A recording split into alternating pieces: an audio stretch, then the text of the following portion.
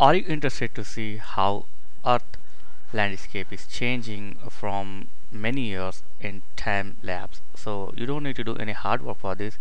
Just go to google and in the search box just type google earth time lapse and open this first link. This is a google earth uh, similar to google earth website or app. So when you open you will find some uh, selected popular places. So type your city or place here in the search box. And now just search this. Okay. Just give a second. Okay it's got it loaded. Now you can zoom in the particular place. So here you can see time lapse is going on like uh, 1986 I think 1986 to 2016 yeah 1984 yeah.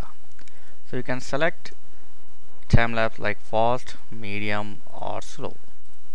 So slow is better I think yeah.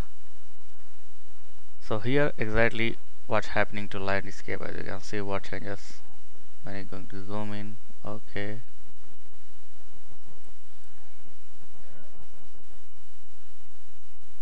So this is the hop happening look at that. These are changes in landscape earth. So you can watch this time lapse. You can change any country any place any name any other place like this. So this is a way to watch time lapse time lapse in earth landscape. Thanks for watching. See you next video. Please like share and subscribe. Thank you very much